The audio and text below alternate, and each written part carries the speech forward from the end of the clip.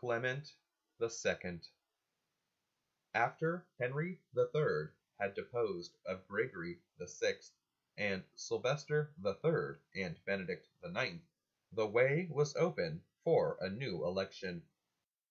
When the Romans meekly told Henry to select the new Pope, he chose Adalbert, Archbishop of Hamburg. Adalbert definitely refused, but he suggested a substitute, Suger, Bishop of Bamberg. Suger was not particularly anxious to exchange his beloved Bamberg for turbulent Rome, but Henry liked the idea and persuaded Suger to accept. He was enthroned as Clement II.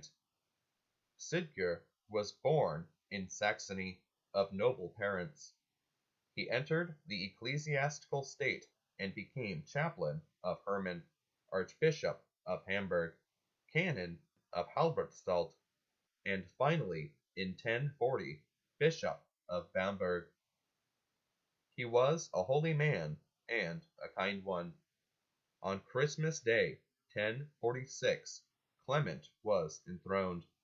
Immediately after the ceremony, the new pope crowned Henry and his wife Agnes. Henry not only became emperor, but assumed the title of patrician, and to him the Romans conceded the right of nominating the pope.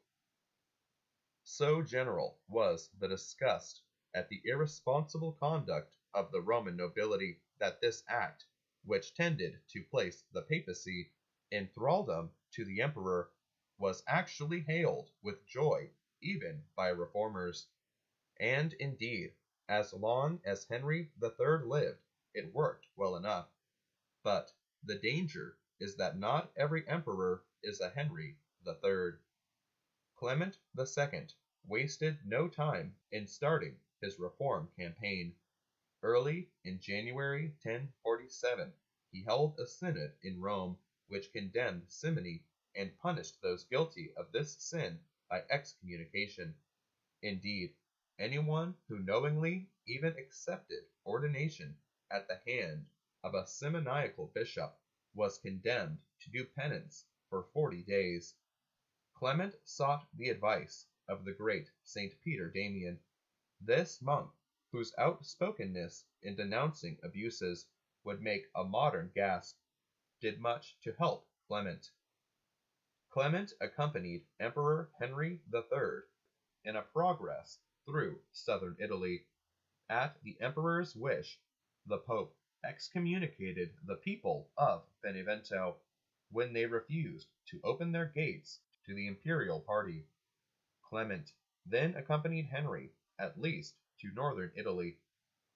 At Pesaro he was struck down by illness, and on October 9, 1047, Clement II died. There was suspicion that ex-Pope Benedict IX had poisoned him, but this suspicion does not seem to be justified. Clement was an able and holy pope, but his pontificate had been too brief to allow him to do more than make a good start toward reform. He granted a number of privileges, especially, of course, one to his beloved see of Bamberg. Clement the Second, one hundred and forty eighth Pope. Christ our King, thy kingdom come.